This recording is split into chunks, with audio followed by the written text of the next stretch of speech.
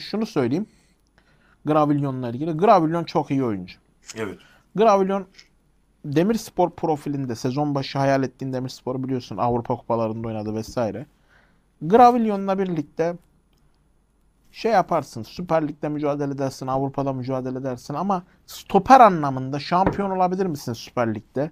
Orası bir soru işareti. Evet. Geçen sene Galatasaray'ın gündemine geldi olmadı. Ya ben beğeniyorum. iyi bir oyuncu. Hatay maçında attığı gol efsaneydi. Ama yani stoper noktası sıkıntı. Yusuf